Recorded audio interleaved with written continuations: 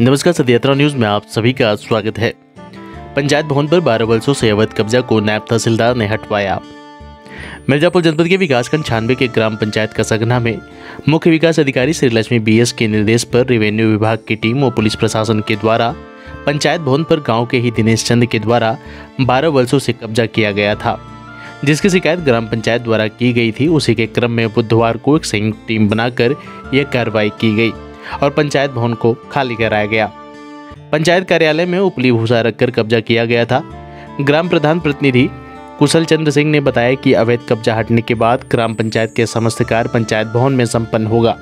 हालाँकि अवैध कब्जा हटाने के लिए ब्लॉक कर्मचारियों को काफ़ी मशक्कत करनी पड़ी।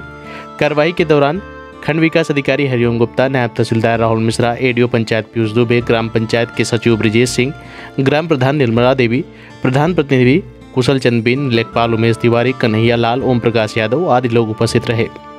सदयात्रा न्यूज़ से आशु शर्मा की खास रिपोर्ट धन्यवाद। जो कब्जा था उसको हटवाया गया। क्या कहना चाहेंगे आप? जी हाँ हमारे यहाँ अवैध कब्जा था। और जो नायब तहसीलदार जी ने खाली कराया है। जी वो कौन कौन से अधिकारी उपस्थित थे उस समय? नायब तहसीलदार से एडीओ पंचायत से जी। बीडीओ साहब से कितने कितने सालों से ये कब्जा था यहाँ पर? लगभग ग्यारह बारह साल। ग्यारह किसके द्वारा कब्जा किया गया था?